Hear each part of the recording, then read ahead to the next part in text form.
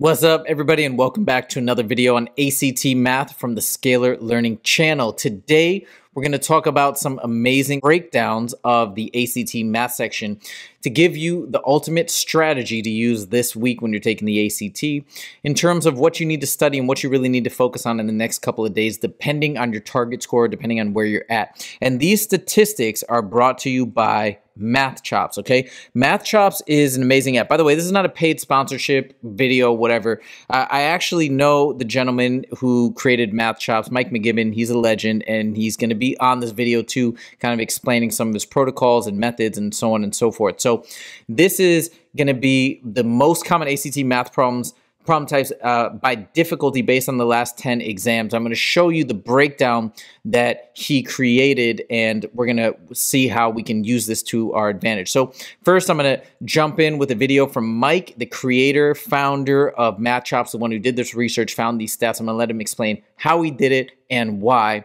and then I'll jump back in and we're going to show you how you can use this information. Hey, what's up? My name is Mike McGibbon. I'm the co-founder of MathChops. It's an adaptive math practice tool that helps you target exactly what you need to work on for your uh, particular point in the ACT journey.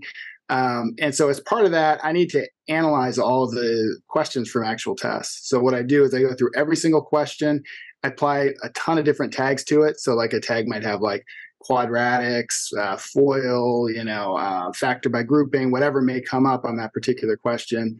And then afterwards, I run it all through a Python script and I analyze like the frequency of each tag. So I can see like, okay, like factor by grouping doesn't actually come up a lot, but maybe law of cosines comes up four times. And for me, if something's shown up at least two or three times, it needs to be in the MathChops question bank and then like you know i'll have it set up so the numbers change every time and, and students can hit that up as many times as they want. So this particular analysis like i basically wanted to see well how often do things show up in like different quadrants of the test? So like 1 through 15 that's the easiest part of the test.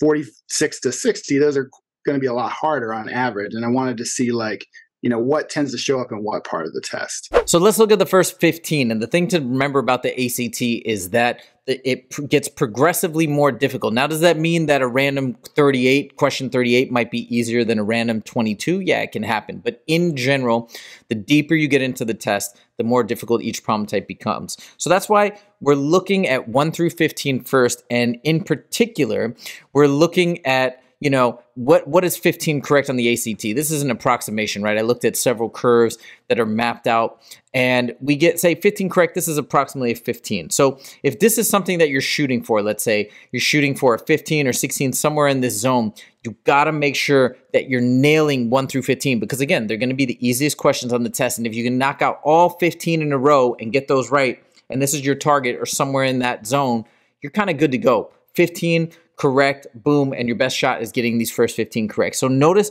what shows up a ton. We see fractions at the top of the list. Does that mean it's just a pure fractions question? Hey, how do we add fractions? How do we divide? How do we subtract? No, it means that it's a component. So there's also hybrid problems. It could be a word problem. It could be another type of probability problem, but it will have some involvement of fractions, okay?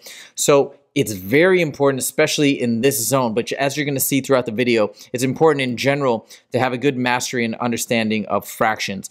Uh, way to drill this would be, you know, first shoring up your conceptual understanding of fractions, the operations with fractions, multiplication, division, addition, subtraction, and then also hitting practice problems manipulating and using fractions as much as possible. So when we look at the rest of these categories, negatives, order of operations, these are a lot, uh, even decimal, decimals, excuse me, absolute value, exponents. These are a lot of the core fundamentals, the basics of mathematics arithmetic, etc. Now, we see a little bit of slope, we see a little bit of linear equations, etc. That's going to be mixed in there. But what does this tell you? This, this tells you that if you're in this zone and this is what you're targeting for this weekend, really shore up your core math ability. So that's what I would focus on there. Okay, next we're gonna look at the next batch of 15, which is 16 through 30. And that's the breakdown. Now we're gonna talk about how these relate to actual score. So again, if you're aiming for around 20 correct, that's going to be somewhere in approximately a 16, right? And again, that's going to vary from year to year, but that's a that's a decent estimation of the curve. And then let's say we're somewhere at that max 30 correct. That's going to be a nice ACT score of 21 again out of a total of 36. So if this is your target range, right? If we can knock out these first 30 or get somewhere close to knocking out the first 30, you're already at that nice 21. So again, you would want to focus on the fundamentals like we already talked about. And then look at this, right? We're seeing, again, fractions popping up. You're going to continue to see fractions be a really big category. Um, we're, we're now having some mixed in a percent. We got a little bit of trig but we're seeing a fair amount. I mean, that's a pretty high frequency still for trig. And in this type of trig, we're really talking about a core understanding of SOHCAHTOA, which is sine is equal to opposite over hypotenuse, cosine is equal to adjacent over hypotenuse, right? That basic triangle uh, application of SOHCAHTOA. It could possibly involve law of sines and cosines, but usually from what I've seen, those questions, those trig questions are always going to be later in the test. By the way, if you want a review of all of these concepts, right, we have our ACT critical concept four part series, um, and I'll put a link in the description below so you can make sure to check that out and you can go to these particular areas. Um, we're talking about average, that's really a mean, median, and mode type of thing. That's at the top of the list. So if you're going to be reviewing averages, right? Adding adding all the numbers up, taking the sum, dividing by the number of items that you're adding up, right? That's in general what, what we're doing. We're taking an average. I would also shore up your knowledge on median and mode as well. All these different measures of centers of data, okay? And another thing to note here, again, we've got those exponents. We've got these classic things. We've got slope in there. I mean, I would say 100% if you're trying to knock out these first 30, you've got to have a good understanding of slope, slope, inter- slope, intercept form, linear equations, etc. Now we're looking at the next batch of 31 to 45, and we're trying to edge up our score, right? If you get 36 correct, now we're in the 24 zone. And if you're aiming for a nice 27, that would be this first 45 correct if you're in this category, we're assuming that you've got the fundamentals down, that you're knocking out 1 through 30 already, right? So what are the some of the things that are going to be popping up in this zone? You can see, again, we have a repeat of some of those basics, but imaginary numbers, right? That's popping up a lot. Imaginary number, if you remember, that's the square root of negative 1. Another important thing to remember is that it's referred to as i and treated like a variable with one exception i squared is negative 1, i cubed is negative i, i to the fourth is positive 1. Again, these rules can be reviewed in the complex number section of our critical concept videos. So you want to make sure to hit those up. And then we see again quadratics, a big piece of the ACT. Quadratics are our nice x squared equations, the parabolas. So understanding quadratics, understanding factoring, understanding how to graph a parabola in different formats etc. So this is these are the things that I would focus on if you're kind of targeting somewhere in that 24 to 27 score.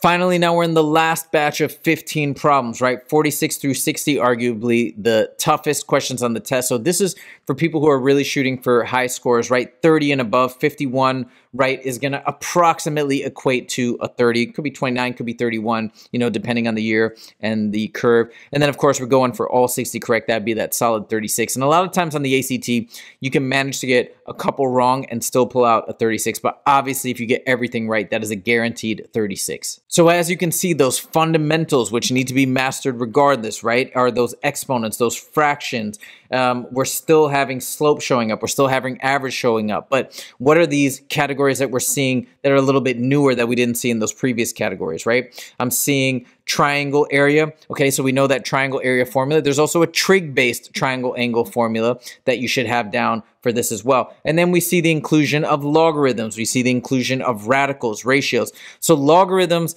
in this zone, I'm seeing one, maybe two log questions per ACT, but really it's probably one.